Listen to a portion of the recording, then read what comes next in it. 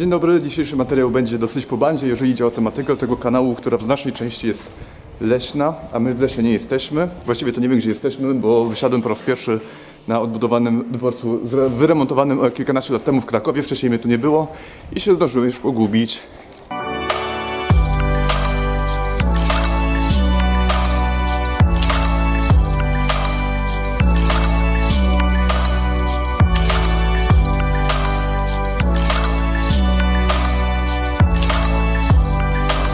Dobra, to może jeszcze raz zacznę. E, W związku z tym e, materiał będzie jechał po bandzie, jeżeli idzie o tematykę tego kanału, ponieważ e, kanał w przeważającej części jest leśny, a ja w lesie nie jestem. Mało tego, jestem w Nowej Hucie, zbliżam się do Nowej Huty. Wysiadłem w Krakowie Głównym z pociągu, teraz idę znaleźć jakiś automat, kupić bilet i, i pojechać do hotelu się zalogować. I chcę zrobić materiał właśnie o Nowej Hucie, o, o mieście przemysłowym, a tak dokładnie to o koncepcji, w jakiej to miasto zostało zrealizowane, o, o koncepcji miasta ogrodu. Plus dla mnie mega trening, będę kręcił w tka, tkance miejskiej, jak się ludzie patrzą, coś nowego. Materiał będzie miał po części troszkę część e, takiej w klimacie vloga zrobiony, więc żeby nie przechodzić za szybko do tematu, to właśnie powiem, że z Gdańska jechałem tutaj tanio, po taniości za 50 zł, tylko że połączenie nie było takie za, bardzo bezpośrednio. Jechałem tutaj się telepałem 8 godzin pociągiem, dobrze, że jestem fanem e, komunikacji kolejowej, więc ja te 50 zł zarobiło na siebie. I rezultat jest taki, że, e, że dojechałem tutaj o godzinie 19. 19.30 praktycznie, więc muszę jak najszybciej znaleźć jakiś automat biletowy. Tam mają podobno 7-dniowe bilety, e, takie dla turystów. Dobra, udało mi się znaleźć automat, tu poszło na automacie mniej więcej pełna oferta biletów. Ja potrzebuję biletu turystycznego, czasowe, dobowe. O, 7-dniowy i to jest mój na obydwie strefy. Strefa pierwsza i druga. Dobra.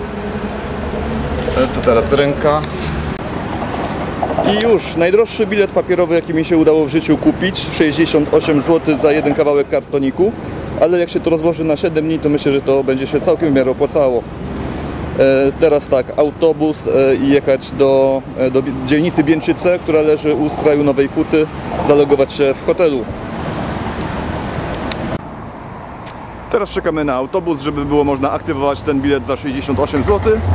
Tak się zastanawiałem nad formą materiału i zdecydowałem się, że zrobię takiego właśnie vlogowego, więc pojedziemy do hotelu, a później przeskoczymy już na drugi dzień e, do Nowej Huty i zaczniemy tę część bardziej taką tematyczną, a nie taką właśnie fajną, entuzjastyczną pierwszy dzień urlopu.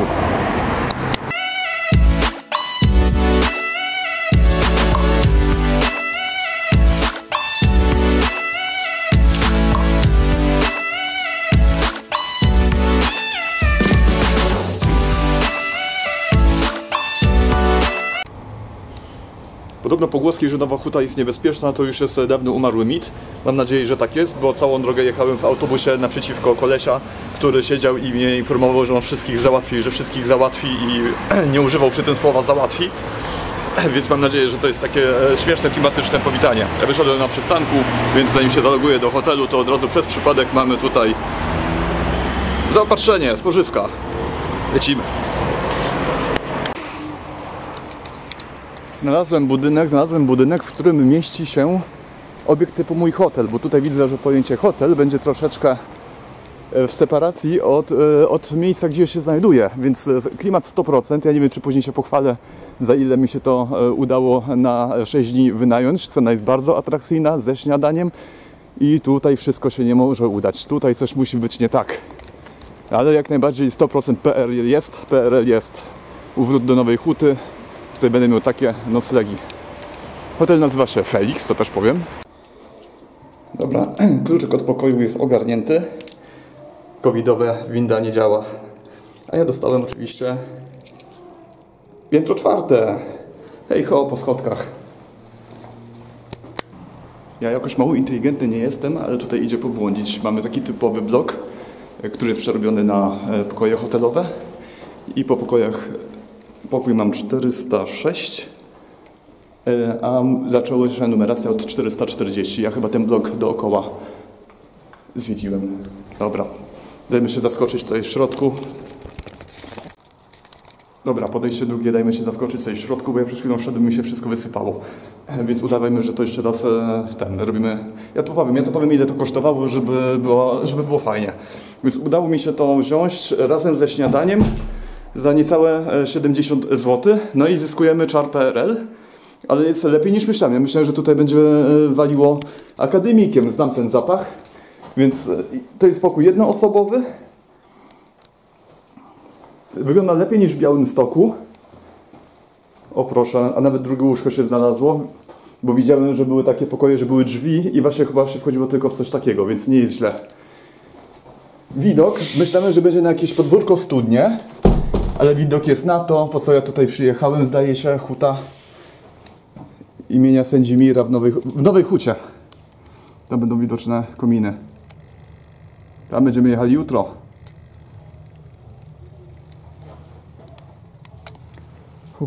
Zdążyłem akurat na zachód słońca. No i co, mamy przyjemnie, bardzo schludnie, ładny, odnowiony pokoik, nie ma prawa do narzekania.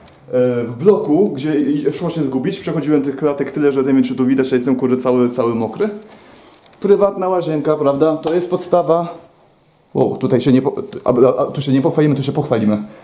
Dobra, tu mamy czar PRL, tutaj jest jak najbardziej PRL-owsko. Ale w takim klimacie przyjechaliśmy. I tyle. Można się rozbrajać. Uuu, cały dzień w pociągu to było niesamowite. Trasa, żeby się opłacało.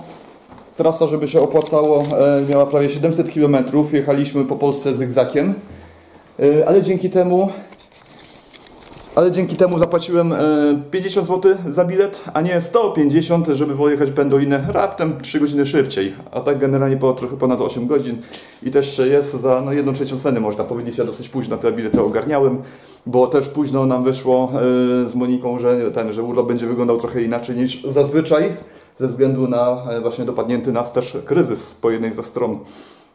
No dobra, e, to ten, to taka część vlogowa. Nie, nie mam pojęcia, gdzie ja to włożę. Może gdzieś tam na sam koniec materiału, jako taka cie- ciekawostki. Bo hutę mam z drugiej strony tak przygotowaną, że szkoda byłoby mi marnować e, no, tak, profesjonalny materiał że, na takie vlogowe rzeczy. No i co, długo się przygotowywałem. E, długo się przygotowywałem.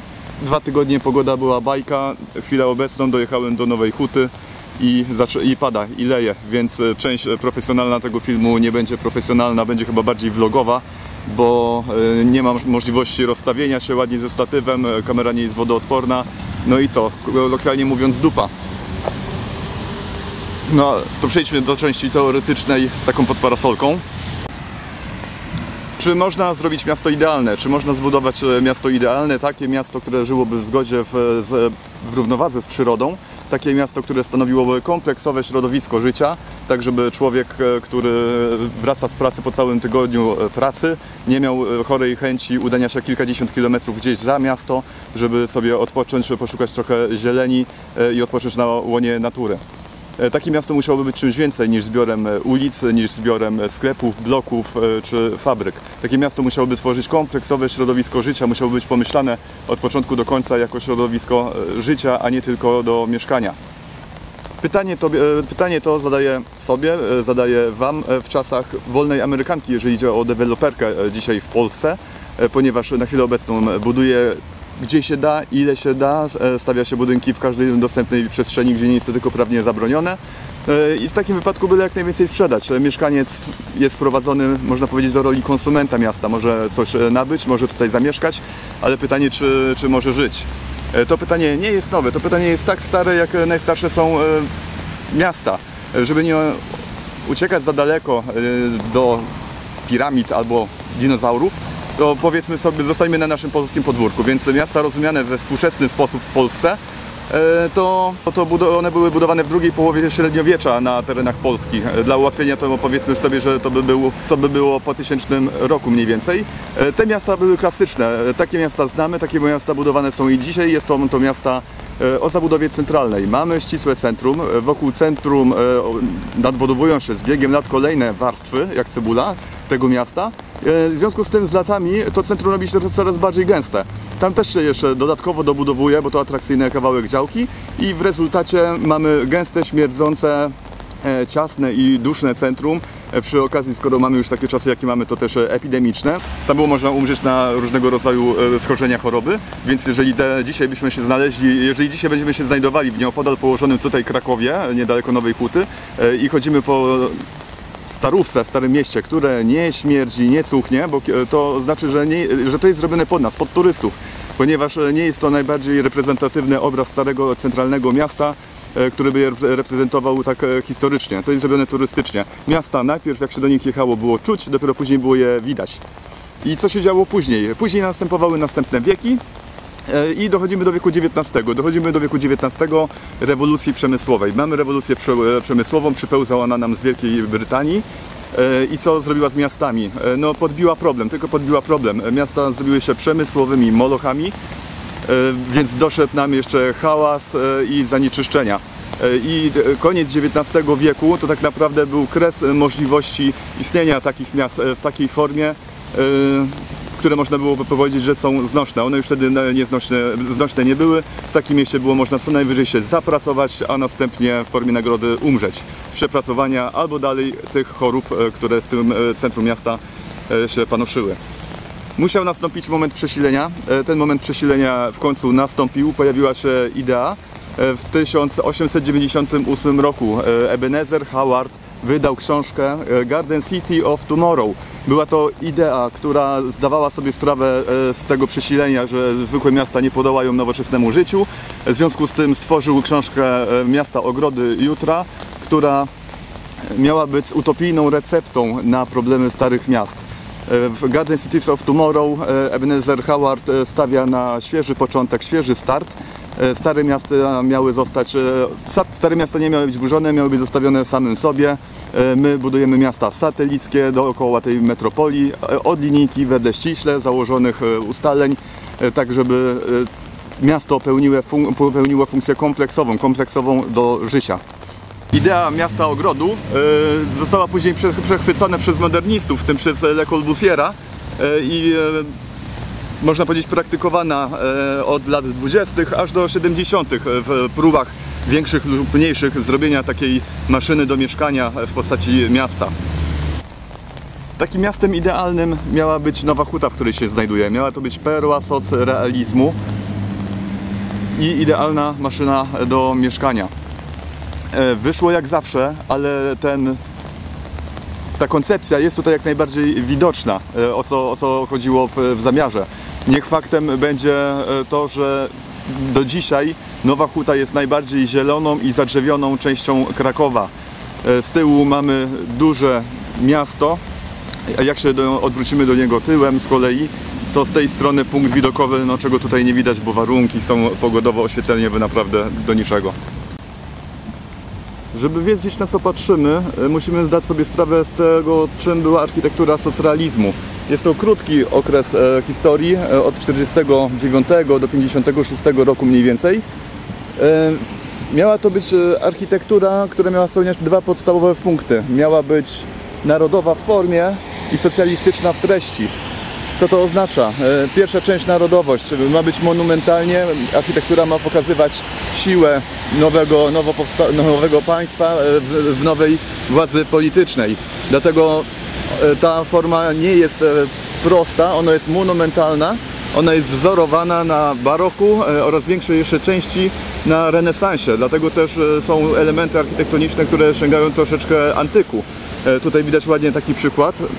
To wszystko na co patrzymy, jeżeli idzie o połączenie formy narodowej e, socjalistyczną, to jest coś takiego. E, Budujemy mieszkania e, robotnicze, budujemy bloki. E, Forma miała być narodowa, zrozumiała dla przeciętnego zjadacza chleba. E, On nie miał być oczytany i wiedzieć na co patrzy, on miał wiedzieć, że to na co patrzy jest wielkie. W związku z tym e, budujemy blok, który nie musi wyglądać jak blok, ponieważ mamy pokazywać, że robotnik w nowej rzeczywistości będzie mieszkał jak panisko. Więc mamy troszkę absurdalną sytuację, w której budujemy robotnicze mieszkania, budynki, e, ale formą mają przypominać te burżuazyjne, żeby pokazać, że e, robotnik też może żyć właśnie jak, jak panisko. W związku z tym e, do zwykłego bloku mamy różne ciekawe architektoniczne dodatki. Tutaj w tym wypadku to jest tak zwany ryzalit, widzicie? Tą tutaj część budynku, która jest wystawiona ponad front reszty fasady. Mało tego, co więcej, on tutaj też opiera się na e, podcieniu. E, Podcienie są łukowate, więc to nam daje arkadę. Następną cechą e, Nowej Huty, czy raczej zamysłu takiego miasta idealnego spod linijki jest osiowość oraz symetria. Przez co rozumiemy tak, znajdujemy się w centrum na placu centralnym. Od placu centralnego osią miasta jest Aleja Róż, tutaj widoczna. Jak widzicie, największe budynki skupiają się właśnie tutaj w centrum. E, Te, można powiedzieć, że monumentalne. One nie są tak monumentalne jak MDM, e, Marszałkowska Dzielnica Mieszkaniowa w Warszawie, ponieważ tutaj troszkę lepiej tę kwestię pomyślano i zabudowania są w tak zwanej skali człowieka zrobione. One nie są aż tak przytłaczające. E, Tam pojedziemy sobie za chwilę, więc e, tylko żeby koncepcja była widoczna. Mamy osiowość, e, ulica Centralna, najwyższe budynki znajdują się tutaj. Następnie z biegiem następnych metrów przestrzeni budynki są coraz bardziej niskopienne. Za 1200 metrów dalej będą już tylko e, jednokondygnacyjne, czterorodzinne domki. Więc teraz zobaczmy jeszcze na tą symetrię też tutaj. Punkt 45 stopni się obracamy. Mamy jedną ulicę, arterię. E, To jest Aleja Solidarności. Ona w linii prostej biegnie do Huty, czyli zakładu pracy, który tutaj wszystkich obsługi, obsługiwał. E, Jest oddzielona 1300-metrowym pasem, zie- strefą buforową, pasem zieleni, e, tak żeby ten zakład pracy był oddzielony od e, miasta. Kąt 45 stopni, kąt 45 stopni, kolejna aleja. Ona prowadzi na Bieńczyce z kolei. Odwracamy się z tego centrum do tyłu. No i tam teoretycznie jak jest, e, no i tam teoretycznie nie ma zabudowy. Tam e, aż po horyzont mamy obszary zielone. Idziemy, pójdziemy tam na te łą- łą- łąki. Zobaczymy, że po 10 minutach możemy nie czuć, że jesteśmy w mieście. Ale tymczasem przejdźmy sobie do Alei Róż dalej i zobaczmy, co ona ciekawego może nam powiedzieć o takiej architekturze socrealistycznej. Mówię, krótki okres, raptem do 56 roku była budowana. Nie zostało tego dużo, ale co jest, jak jest nieskażone nowoczesnym budownictwem, bo tutaj nic nie zdążyli powsadzać e, sztucznego, to, to tworzy fajny układ. O, co tutaj też widać przy tej symetrii. Lewa strona zabudowy jest identyczna jak prawa strona zabudowy. Widzimy tutaj też takie chęć zrobienia tutaj z tej przestrzeni takiego zam zamku. Mamy tutaj e, mieszkania zwykłe, blokowe, ale są ustawione tutaj w takich dwóch wieżach po lewej i po prawej stronie.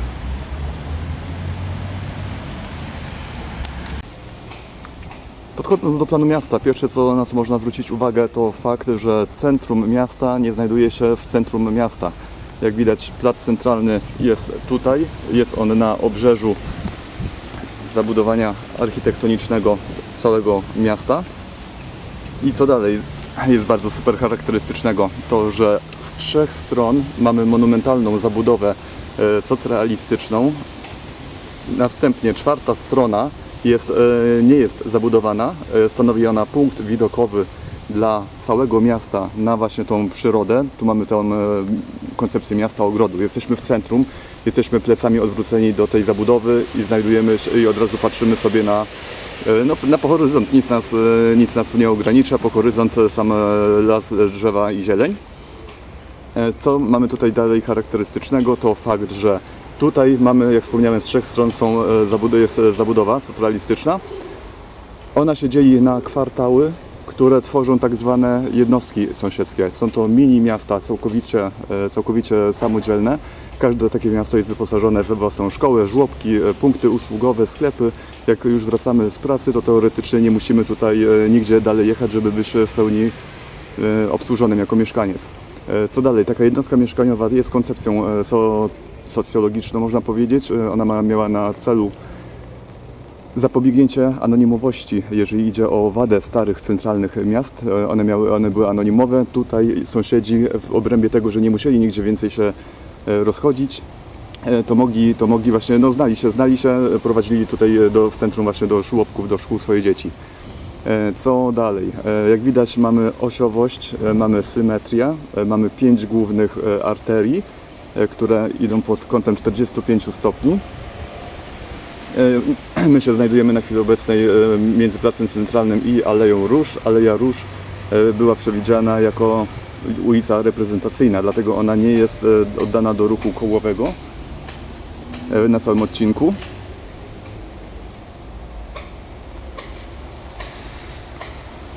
Co ponadto, Aleja Róż jest jedyną ulicą, która nie jest poprowadzone też e, torowisko tramwajowe, żeby było można się udać w inne rejony miasta.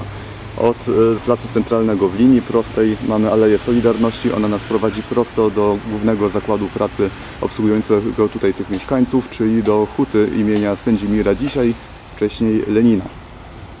Na centrum mieszkalne składają się osiedla mieszkaniowe, osiedle e, centrum A, B, C i D. Później troszkę hejtowane, e, w latach 80. dobudowane, w ogóle nie trzymające się architektury tego miejsca, osiedle e, Aleja Róż zawdzięcza swoją nazwę temu, że kiedyś tutaj były posadzone w całym rzędzie róże. Była to obszar defiladowy. Tutaj miały się odbywać wszystkie komunistyczne e, święta, defilady i obchodzenie różnych świąt. Znowu widzicie doskonale tą osiowość i symetrię. E, Stał tutaj też e, pomnik monumentalny Lenina. Miał 6 metrów wysokości. Jak widać i jak się domyślacie, już nie stoi. To, co tutaj widzicie, e, to jest też e, budownictwo, które walczyło z czymś, co dla nas jest już e, dosyć oczywiste, mianowicie kuchnia i łazienka w każdym domu, a kiedyś to nie było takie oczywiste i, XIX wiek, kamienice i tak dalej, to dużo części elementów wspólnych. W związku z tym rewolucja tego budownictwa miała polegać na tym, że każdy mieszkaniec dostawał normalne, w pełni wyposażone mieszkanie. Miasto dzieliło się na przestrzeń publiczną i przestrzeń społeczną. Aleja Róż e, jako główna tutaj arteria komunikacyjna oraz reprezentacyjna jest przestrzenią publiczną. Tutaj się że może toczyć życie całego miasta. Jakkolwiek tutaj po lewej stronie mamy wejście do takiej jednostki e, sąsiedzkiej i tam z kolei rozpoczyna się przestrzeń społeczna, taka, która ma służyć e, mieszkańcom, którzy żyją właśnie wewnątrz tej jednostki społecznej. Różnica pomiędzy XIX-wiecznymi bramami, jakie mamy w e, takich starszych XIX-wiecznych kamienicach, gdzie wchodzimy do takiej bramy i wiemy, że dostaniemy w zęby, e, a tym socrealistycznym zamysłem, gdzie brama to jest tak naprawdę portal e, do wstępu do takiej jednostki mieszkaniowej. Przed nami najstarsza restauracja w Nowej Hucie, restauracja stylowa, działająca nieprzerwanie od 1956 roku.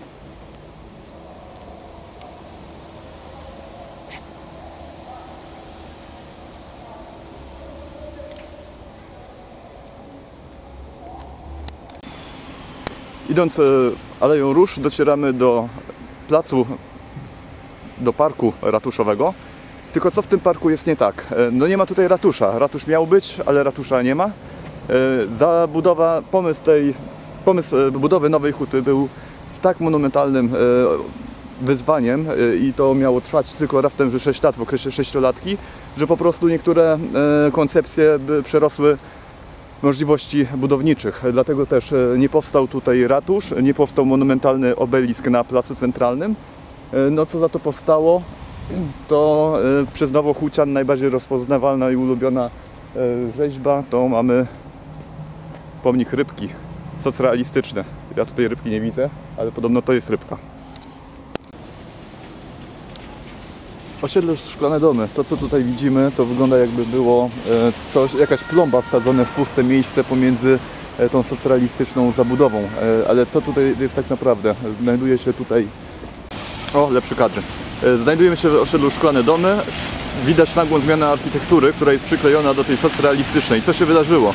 Wydarzył się rok 1953, e, Stalin nam umarł, w związku z tym zaczyna się odwilż. E, Odwilż się zaczyna, architekci znowu chcą robić rzeczy, które czują, a nie te, które im się każe. W związku z tym jest wielki powrót do modernizmu, który został nam zabrany po II wojnie światowej właśnie tą propagandową architekturą socrealizmu. E, Powrót do modernizmu, do Le Corbusiera i do e, ideal- idealnych jednostek mieszkaniowych. To, co tutaj widzimy, to dom szwedzki albo francuski, jeden z nich, tam mamy drugi taki, e, który jest oparty już na pięciu zasadach waszej jednostki mieszkaniowej, który jest oparty na wszystkich założeniach modernizmu. Tutaj nawet ładnie widać te Pilatos, słupy, na których tak chętnie moderniści e, budowali e, swoje budynki, żeby nadać im e, to poczucie takiej lekkości. Zmiana kadru na jeszcze jeden korzystny. Te bloki, nie wiem czy o wspomniałem, one powstały, ten szwedzki i francuski modernistyczne, one powstawały e, mniej więcej w 1956 i 57 roku. Więc zobaczcie właśnie, że można się pomylić, że patrzymy na coś e, z lat 80., a to jest zaraz tuż po tej odwilży, po śmierci Stalina, e, lata 50. powstają bloki, które dla nieuważnego oka mogą wyglądać jak takie e, zwykłe te z wielkiej płyty. One z wielkiej płyty nie są, one są z gazobetonu. I też widać tutaj ładnie te modernistyczne, e, te modernistyczne kolumny wzdłuż całości e, bloku. Dawne kino Światowit, dzisiaj Muzeum PRL-u. W tej formie, jakiej to widzimy, no nie może się to podobać. Jakkolwiek no dalej, jeżeli widzi o zamysł architektoniczny, widać tutaj wzorowanie się na antyku. E, Mamy portek z kolumnami. E, Dla ciągłości e, tej fasady obok kolumn znajdują się tak zwane te pilastry. Czyli takie jakby pseudo kolumny, takie wysunięte tylko przed lico budynku pionowe pasy. Dzięki temu całość wydaje się być w miarę symetryczna. W środku jest Muzeum PRL-u. Idę obczaić jak to ładnie wygląda. O i coś fajnego dla Januszy. Dzisiaj mam wtorek. Dzisiaj jest wtorek, a tutaj jest napisane, że we wtorek wstęp bezpłatny, więc chyba znowu, znowu mi się uda. Podziemia Nowej Huty.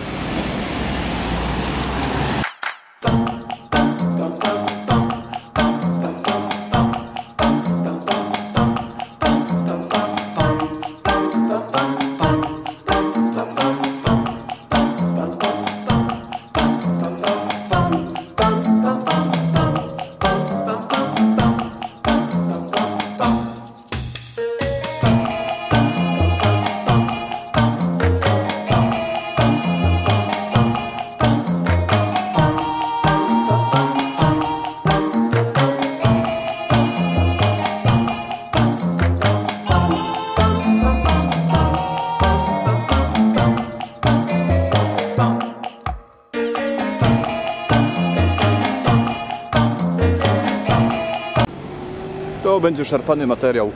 E, Byłem w Muzeum e, PRL-u, w byłym kinie Światowit. E, Tam mają też taką fajną część jak podziemia, podziemia Nowej Huty.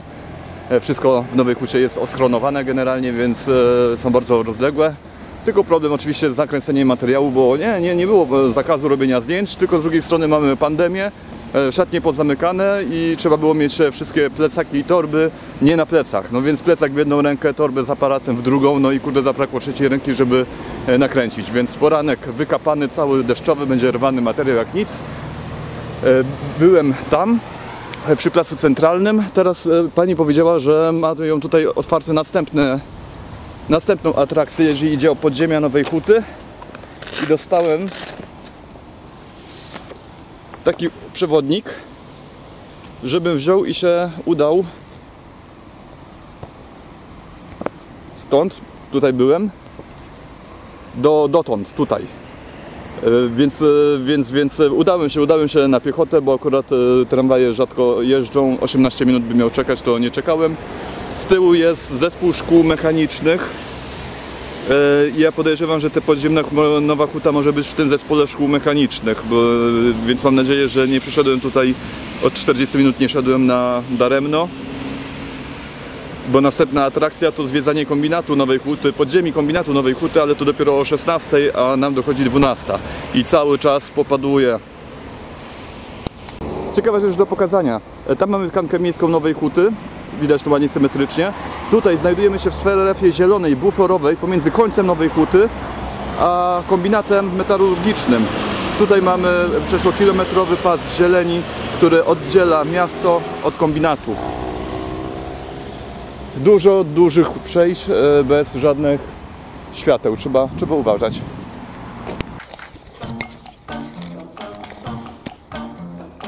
Łatwo nie było, ale chyba trafiłem.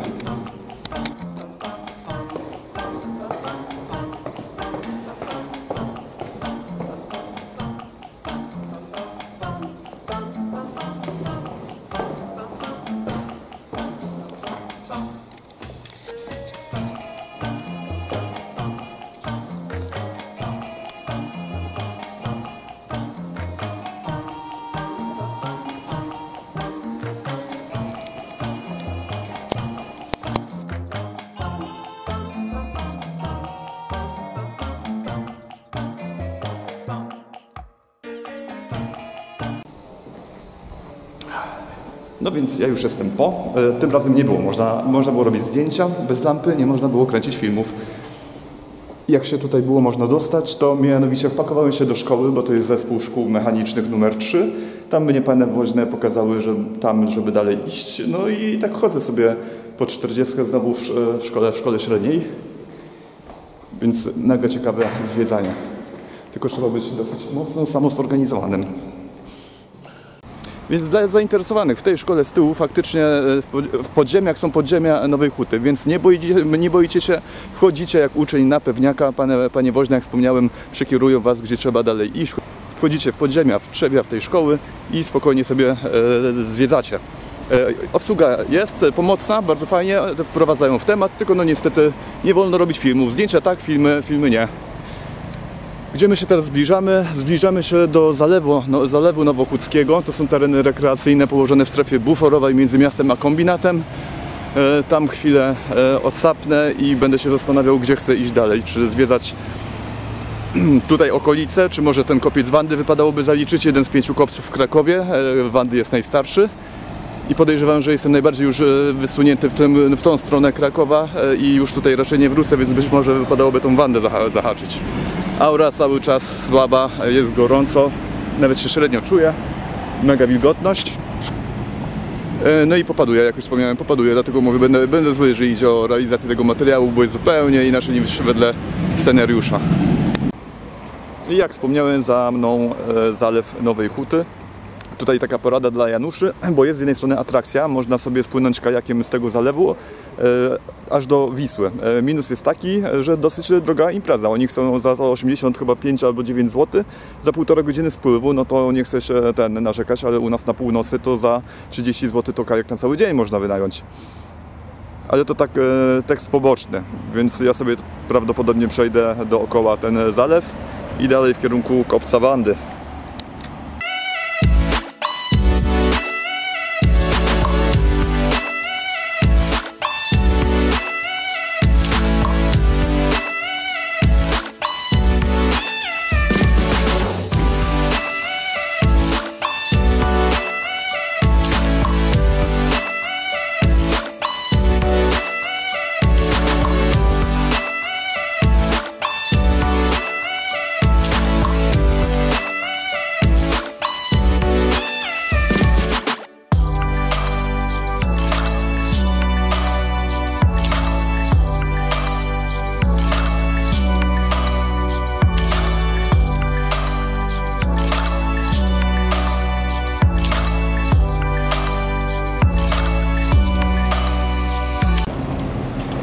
Naprawdę robi wrażenie gargantuiczne. Tak, jest taki wyraz. Znalazłem, że jest taki wyraz, używa się go, gdy nie chce się przekinać na swoim kanale, bo jest naprawdę wy...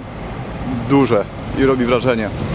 Dwa zameczki, to już na wejściu gigantyczny napis. A ja mam za godzinkę zwiedzanie tego obiektu, tylko najprawdopodobniej znowu nie będzie można kręcić materiałów, więc melduje się uwrót do huty e, imienia Sędzimira. E, No i ja prawdopodobnie będę się dobrze bawił, a później tylko będę mógł powiedzieć, że dobrze się bawiłem.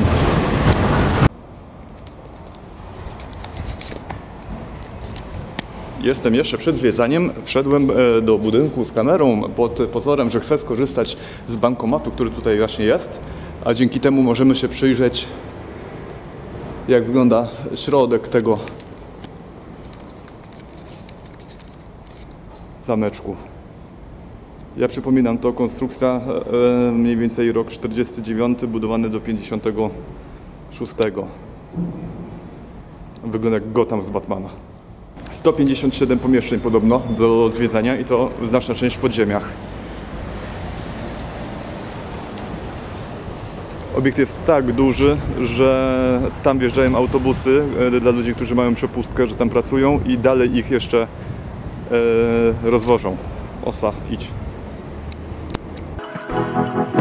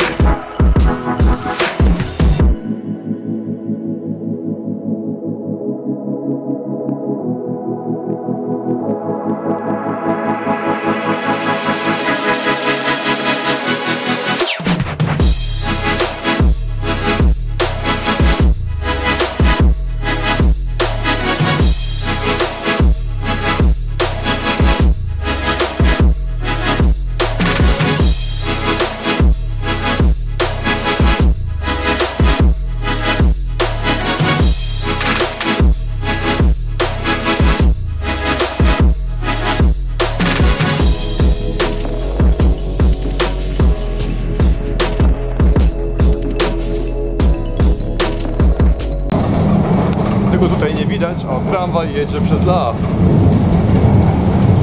Pomagam sobie trochę do tego kopsa wandy, bo jest kurde e, daleko. Cały dzień deszczu to oczywiście za mało, więc do tego czekam na prawdopodobnie burzę. Idą mega ciężkie ołowiane chmury. Przed sekundą zrobiło się tak upalnie, że miałem wrażenie, że udaru dostanę. Ale ja tutaj po coś przyszedłem? Ja tu przyszedłem skończyć e, powiedzmy tą e, hutę przed jeszcze zwiedzaniem tego e, kombinatu, co będzie już ostatnim punktem. Więc kopiec Wandy, idę na najwyższy tutaj położony punkt. Może zdążę przed burzą.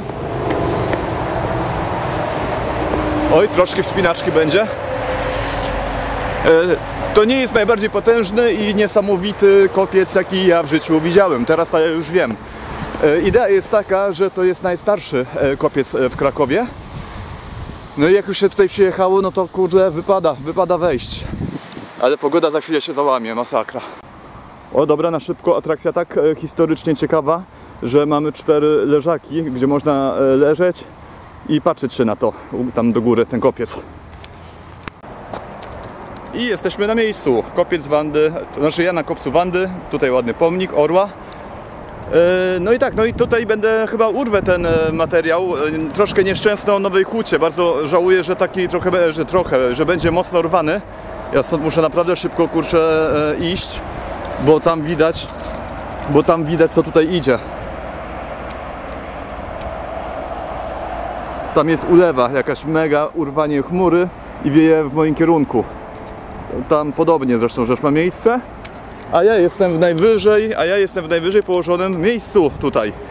E, więc tak, no ta nowa huta miałem bardzo zaplanowane. Ja na żywo tutaj naprawdę fajnie pooglądałem, chociaż moja pogoda była niesprzyjająca. Cały dzień pada, padało, było mega upalnie, e, w związku z tym e, też e, o dziwo się troszkę nie do końca najlepiej czułem, ale wszystkie punkty zaliczyłem. Zostało mi jeszcze tylko zwiedzanie podziemi, e, huty e, i tylko, że tam prawdopodobnie nie będzie można e, filmować, więc e, ja już sobie pozwolę najwyżej dam jakąś przebitkę albo jakieś zdjęcie, jeżeli uda mi się zrobić, więc e, wiem, że materiał jest rwany. Ten materiał był rwany, nie ma chronologii, nie ma specjalnie było na pewno widać, że jestem przygotowany pod kątem, że naprawdę dużo o tej hucie czytałem. e, Dużo e, człowieków z marmurów pooglądałem, e, ale no niestety nie udało się pod fabułę to zrobić z powodu pogody to raz, a dwa z powodu przygotowanie to jedno, a jak jest się na miejscu to co innego. Więc nowa huta nie zajmuje tak dużo aż miejsca na papierze, ale przemieszczanie się od jednej do drugiej atrakcji zajmowało dosyć długo, dużo. Na żywo robi wrażenie lepsze niż mi w obiektywie, bo ja wiedziałem o co mi chodzi, jak ja opowiadałem o tych wszystkich blokach z zamyśle artystycznym, to widać na żywo, ja już widzę na podglądzie, że no, e, aparat przy takiej przynajmniej ogniskowej e, nie łapie, e, nie łapie tutaj tego nie łapie tej architektonicznej bryły, czy tej symetrii, czy coś takiego. Mówię, no na żywo to jak wiadomo na co się patrzy, to robi wrażenie, jak najbardziej robi wrażenie. Widzę, że aparat tego nie, kamera tego nie oddaje e, ze względów właśnie e, techniczno-optycznych. E, No więc ja dziękuję za uwagę. Mój pierwszy mega miejski materiał i jeszcze w trudnych warunkach. e, W dodatku cały czas e, z pilnowaniem, żeby nie na- nakapało mi na aparat. W związku z tym dziękuję za uwagę. Nie zostawiajcie żadnej łapki w górę ani w dół. Ja sobie ten film zrobię dla pamiątkę po prostu, żebym miał. Ale wiem, że to nie jest majstersztyk, jeżeli idzie o montaż ani wykonanie. Oj, zaczyna padać. A, jeszcze uzupełnienie. E, Nie wszystkie rzeczy, których nie pokazałem, to tam nie byłem. E, Byłem w kilku fajnych jeszcze rzeczach, tylko akurat już tak e, lało, że tylko pilnowałem po prostu, żeby za bardzo nie zmoknąć, więc nie zobaczyliśmy razem kina e, Świt. Widzieliśmy kino Światowid, nie widzieliśmy bliźniaczego kina Świt. Nie widzieliśmy teatru ludowego. Tam koło teatru ludowego stoi też ładny czołg IS-2. E, I kilku innych rzeczy, jak się pogoda mocno, mocno bardziej skiepściła. To tak woli uspokojenia.